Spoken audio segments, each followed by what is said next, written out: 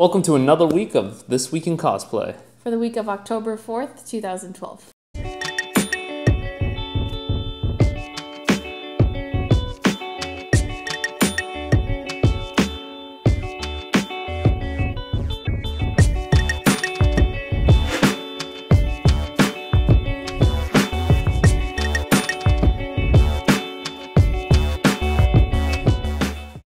To apologize for a lack of research in last week's episode. ShyCon did not happen last weekend.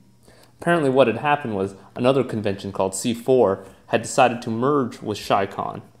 Um, and this convention is going to, this mass convention of ShyCon and C4 is going to happen November 2nd through November 4th. So we apologize again for our lack of research there.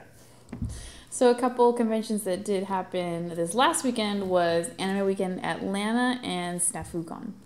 Unfortunately, you people at SnafuCon didn't upload a lot of pictures, we couldn't find anything of you guys. Um, so if you do have images from SnafuCon, please put a link in the comments and we'll make sure to mention them next time.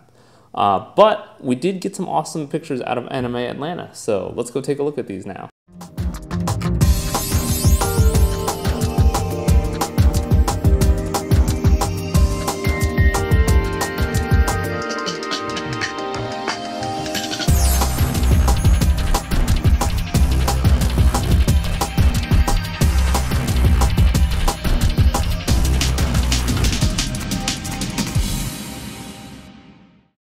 All right, everybody. For the weekend of October 6th and October 7th, we only had two conventions coming up.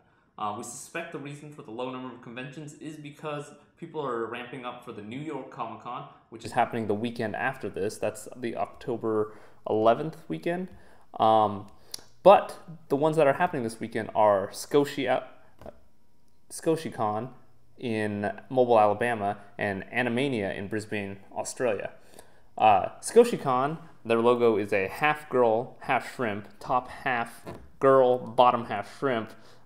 Awesome. Uh, is going to be a smaller con. I think that's why they picked the name Skoshi. Skoshi does mean small in Japanese. So I hope people that are going there have lots of pictures, more than SnafuCon.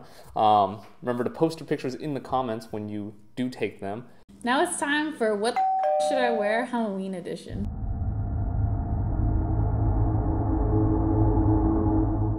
Since we've got just a little under a month to Halloween, we're going to su- suggest some slightly interesting and complicated costumes for Halloween. And then as Halloween gets closer, we'll suggest some more simple and fast costumes. Since Halloween is a holiday that everybody dresses up for, we're going to branch out and make suggestions outside of the anime Japan realm. We're going to suggest other geek friendly costumes that if you wear, people will recognize you in.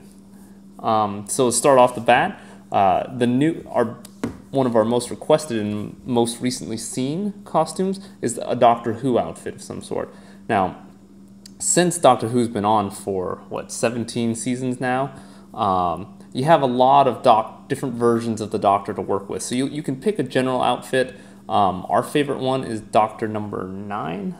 Uh, that's the David Tennant Doctor. Um, he you can pick out, it's a very simple outfit, generally uh, a tuxedo of some sort, uh, a trench coat, and the sonic screwdriver.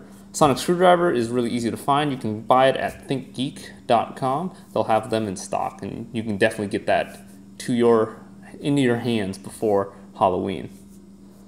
Um, another one we're interested in suggesting is a BMO costume. um, while it does seem easy, I think it can get a little complicated with painting and constructing it. It might take like a week or a couple days. um, so basically, you would just need kind of a big cardboard box that would cover most of you, or at least three fourths of you. Paint it blue, paint the little gadgets on it, and then maybe wear a similar colored like a bodysuit, so like your arms don't, arms and legs don't stand out too much, and you are set to go for BMO, which I think would be an awesome costume and that's from Adventure Time. For those of you don't, that don't know, look it up. BMO. Um, now, I love video games, so I'm going to make a couple suggestions out of there. Uh, if you check our website, we have a section of League of Legends players.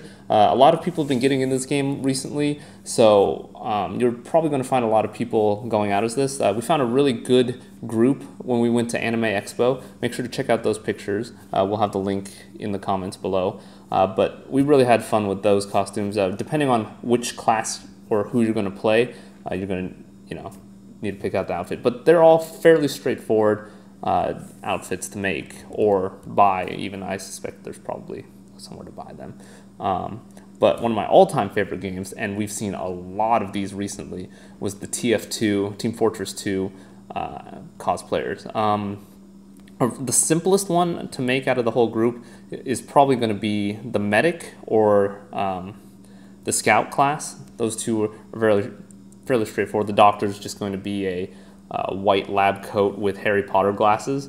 Um, the, the med, the healing unit is going to be a little bit harder to make, but a bone saw would be super simple to cut, a cut an outline out of cardboard and paint that, and you're good to go, and you have a doctor. Make sure to get the, make sure to get the rubber gloves too. Uh, but any other suggestions do you have? Um, this is anime related, but I think that Princess Mononoke is kind of in between for simple and complicated because uh, you could get a blue dress and do a scrappy white tank top with a necklace, some face paint, and a little headband around your head, and you're good to go. And I think that would be an interesting one. I have never seen a Princess Mononoke for Halloween, and I would love to see it. So. Ooh, hey ladies, it's time for Lady Boners. So my first lady boner pick is Kratos from God of War, and this is taken by uh, Greylock, and I think he has a really good body for it. And I can't tell if it's just painted on muscles or if he really has those, but I think he did a really good job because he looks pretty much exactly like him, and it's kind of scary. The man's a beast. um, and my second pick is uh, Chris Redfield from Resident Evil, and that is taken by Pop Culture Geek. And I just picked that one because I thought he was cute. Hello, gentlemen. Have your ladies leave the room because it's time for boner boners. So my two picks this week for the boners boners is Macross F, and she is pretty cute. She's got that little seductive look peeking out from over her shoulder very hot. Uh, oh, and uh, this was taken by a Shiny's photo. Uh, again, the links will be in the comments or in the description. And the other photo by Shiny's comments is a Vocaloid, um, the Vocaloid named Luka.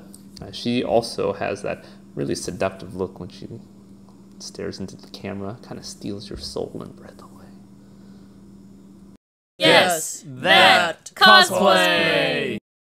This week's Guess That cosplay might be a little hard. Kevin thought it was just a stereotypical Asian girl in typical Asian dress floating in the water. I'm allowed to say that because I'm Asian. She's not. so if you do happen to know the right answer for the Guess This cosplay, uh, let us know, leave a comment, or email us, and you will get the gold star certificate of awesomeness from us. This week's cosplay of the week is Zone Double Zero Kurobara. Um, this photo was taken by Chiori. Chori. No. Their DeviantArt name. And the oh. cosplayer is Miyoaldy. And those are both on DeviantArt, so and they will both be featured. But I thought this picture was really badass, and I feel like all my pictures are crap now. Yeah, this is pretty epic. Uh, Chori, who, good job, very good picture, and very good cosplay. Mio, Mio, Mio, Mio, right? Yeah. Miyoaldy. Miyoaldy.